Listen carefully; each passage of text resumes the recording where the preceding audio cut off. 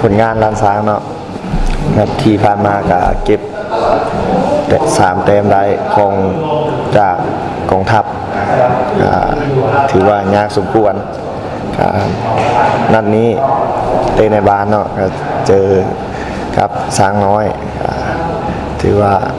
เขาก็เสียเต็มที่แล้วก็สู้เต็มที่เพื่อแฟนบ้านล้านช้างแล้วก็เพื่อ เก็บสามแต้มในบ้านให้ได้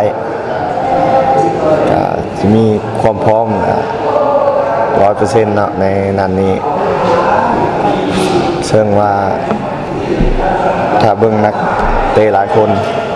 ที่ที่ลงลิ้นก็บบางคนก็ถึกบัตรเหลืองถึกแบนก็มี แต่ว่านักเตะผู้เล่นก็สี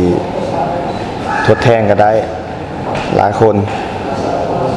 เพื่อจะเก็บสามแต้มในวันอาทิตย์นี้ใช่สบายดีเนาะสำหรับทีมสร้างน้อยเนาะผลงานที่ผ่านมาถือว่าดีสมควรเนาะชนะหนึ่งเสมอสองเนาะแต่สำหรับนัดนี้เนาะสิเจอครับทีมล้านสร้างยูไนเต็ดทีมล้านสร้างยูไนเต็ดเป็นทีมที่ว่าแข่งแกร่งในลาวพรีเมียร์ลีกเนาะปีกายได้เป็นห้องแซม แต่ว่าเขาก็บบประมาทเนาะลงเดินก็คือ ท่าเทียมกันเมื่อบ่มีผู้ใดเก่งบ่มีผู้ใดอ่อนบ่มีคำว่าประมาทลงเดิน90นาทีบ่มีได้เปรียบเสียเปรียบสร้างน้อยสู่เต็มทีเอ่อว่าเรื่องตัวผู้เล่นเนาะสำหรับสร้างน้อย ถือว่า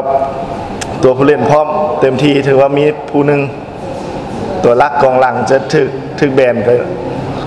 ยังมีตัวอื่นสามารถทดแทนกันได้ และเสียแน่ว่าสร้างน้อยจะมีเซอร์ไพรส์ก็เป็นไปได้นะ